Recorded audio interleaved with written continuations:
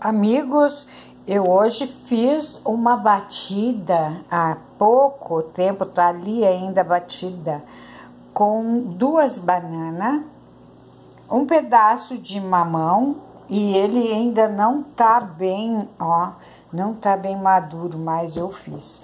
E duas colheres cheias dessa aveia aqui, é farinha de aveia, ela ah, custou 10 pila esse pacote aí, ó.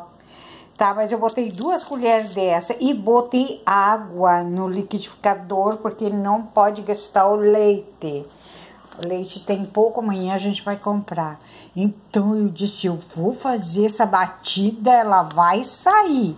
Aí botei mel no lugar de açúcar. Olha como ficou a batida ó.